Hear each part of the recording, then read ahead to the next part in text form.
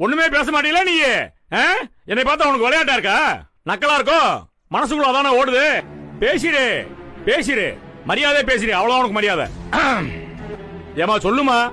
உன் காலை பிடிச்சு கேக்குறமா தாயே. சொல்லுமா பேச சொல்லுமா.